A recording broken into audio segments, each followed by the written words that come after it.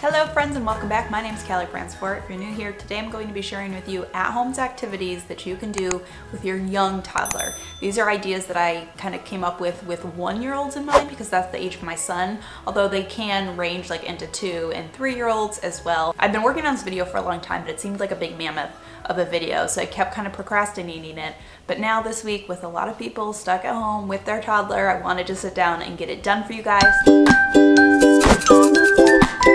Have a couple quick tips that are going to make doing these activities a lot easier than I want to go over first, but if you just want to jump right to the activities, you can fast forward to this part in the video. Okay, but as far as some tips for just like playing with like one and two and three year olds in general that's going to make doing these activities a lot better is one, model activities for your child. Some of these things you can put in front of your kid and they're just gonna like immediately start playing with them. Sometimes they're not always gonna do that right away. And so a really easy thing to do is to model how the activity is supposed to be done for them. And that usually will spark them to wanna play with it as well. And it kind of shows them what the point of the activity is. Number two is to actually play with your kids. I find that in general, my child plays for longer periods of time and is more engaged in his play if I'm kind of on the floor playing with him. And at this age, it's really a lot of parallel play and parallel play is is basically when you're playing next to them, but not exactly with the same toy. And so you're playing next to each other, but you're not actually playing together. That tends to be the type of play that this age does a lot. So it's not necessarily playing exactly with what they're doing, but kind of playing next to them. Third thing is there's going to be a link in the description box down below that is going to link to a blog post that goes along with this video, which will include a roundup of all of these activities so you don't need to be like writing them down and memorizing them all. You can just use that post as reference. That post is also going to have a ton more in it, including any links of products or things that I mentioned. And at the bottom of the post, there's some additional resources, including links to some other bloggers who have posted activity ideas for this age, for older ages. There's a link to my post for activities to do with your babies, as well as like other websites and bloggers that would be really helpful. Okay, our first activity is window paint. So for this activity, you are going to take some paint. I just use some finger paint, squeeze it into a Ziploc bag, and then you're gonna tape it to window or glass. I suggest use painter's tape because it's not gonna leave any sticky residue behind. Your little one can then smush the paint around inside of the bag. And this activity is one of the ones that might need a little bit of modeling from you initially for your kid to sort of understand how to use it. Um, so don't be afraid to dive in and start smushing the paint so they can sort of see what they're supposed to be doing with it. Okay, activity number two is edible Play-Doh. Play-Doh is a super fun activity, um, but if you have a younger one that's still putting lots of stuff in their mouth, sometimes you might not want to do it. I mean, Play-Doh is non-toxic, but it's not necessarily something you're supposed to be eating a lot of. Um, and you can make edible salt-free Play-Doh for really easy. The link to the recipe that I use is in the post that I mentioned in the description box down below.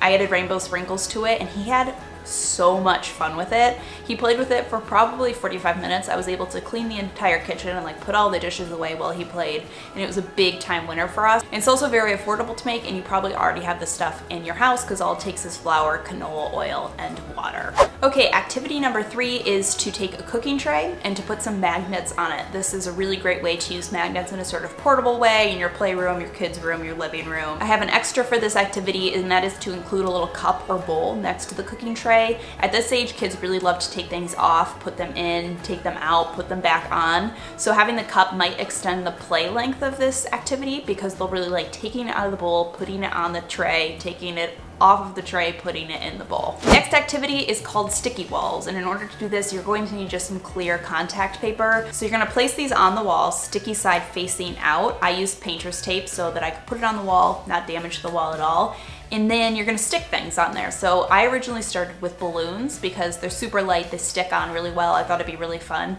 My son is still just a tiny bit too young for balloons. They immediately went into his mouth, which made me a little bit nervous. Um, so maybe a little bit better for closer to two or past two. Um, but I ended up doing this activity quite a few times and I did it with pom-poms. We did it with strips of like paper, tissue paper. You could do ribbon, you could do all sorts of stuff. Okay, my next activity is to let your kids help you clean up.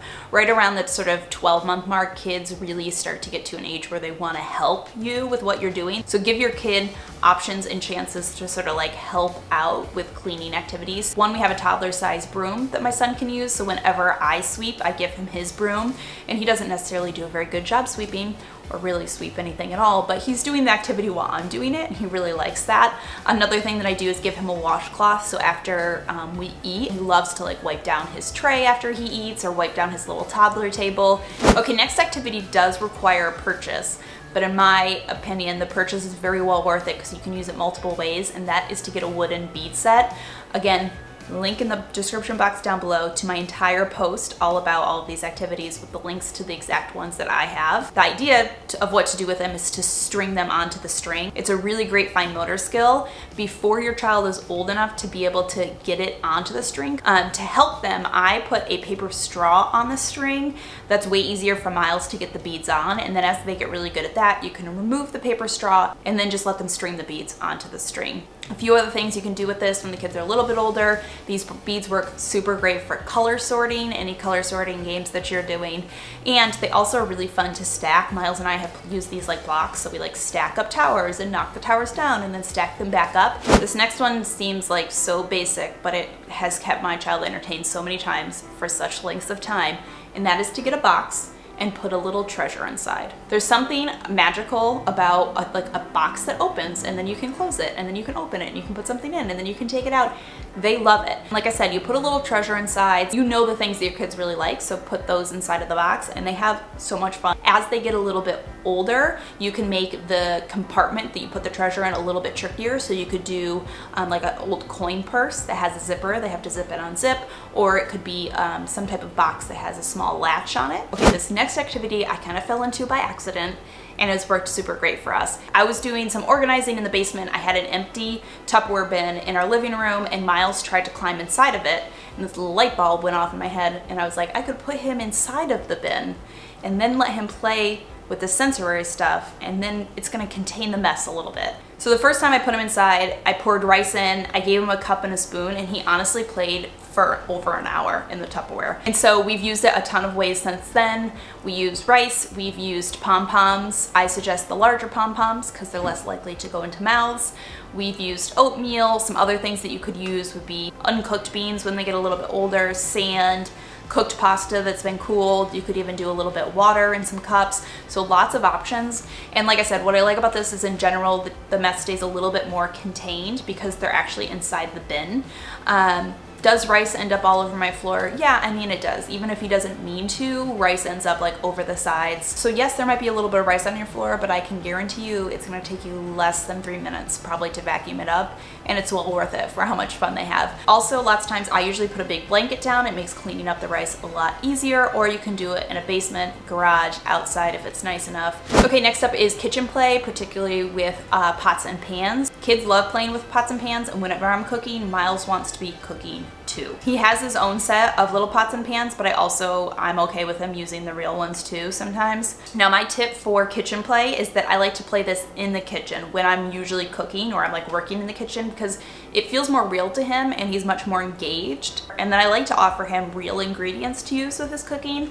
Um, so we might use like uh, herbs like bay leaves or I'll give him some potatoes or some lemons or you know whatever I kind of have laying around because then it's a fun sensory thing for him as well because he's like interacting with all these different fruits and vegetables and whatever. Um, but again, it's just a little bit more real life as opposed to the plastic food. We also have the plastic food. He plays with that sometimes too. I just find he's more engaged with the real stuff when we're playing in the kitchen. Okay, next up, never underestimate the power of just a big empty box. We all know that children love boxes thanks to Amazon, you probably have a big one laying around in your basement and these can be super fun. So obviously we've, most of us have seen children just like have a blast with a box, like throw it on the floor and let your kid crawl inside and have a like a gay old time. But I wanna give you some tips to like even heighten this activity a little bit more and make it even more fun. Um, so if your kid's on the older end, decorating and coloring their box is a ton of fun. My, our most recent box that we made a little playhouse for Miles out of, and one, on one side I cut holes and various sizes and he used to have so much fun going inside and passing toys in between and it was a fun sort of spatial thing for him as well because you know he realized that the bigger toys couldn't fit through the smaller holes just like a lot of kids toys do. Another thing that you can do is hang streamers or strips of tissue paper, strips of ribbon from the front of it.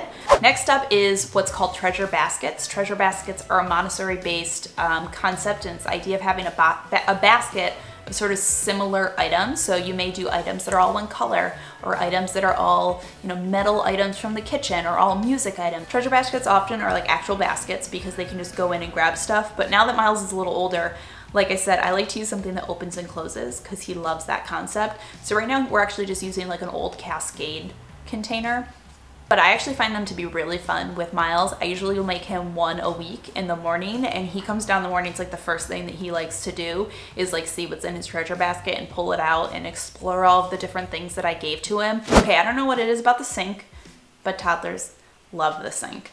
Um, and so I use that to my advantage and I let Miles have sink time. I take a Tupperware, I put it in the sink, I give him a cup or two, fill it up with some water, maybe a little bit of soap, and I'm not lying when I say he'll play in the sink for an hour, like an hour of playtime, which is, as we all know with a one-year-old, a long time. Um, so like I said, we do do this at the kitchen sink. So we have a learning tower this is a little bit of investment. You can get them under $100. Ours was about $170, but we honestly use our Learning Tower multiple times every single day, so it has been well, well worth it for us. And for this activity, pull it right up to the sink so that you can just play right in the sink. If you don't have a Learning Tower, you could still do this activity. You could um, put them in the bathtub and have the Tupperware next to them.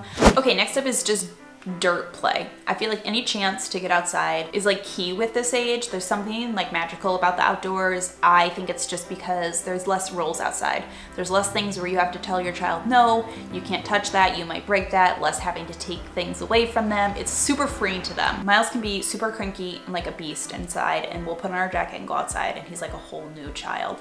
Um, but one of our favorite outdoor activities is just playing with dirt. You can just get dirt in your backyard or if you have some potting soil laying around, Miles has so much fun transferring this from one cup to another with a spoon.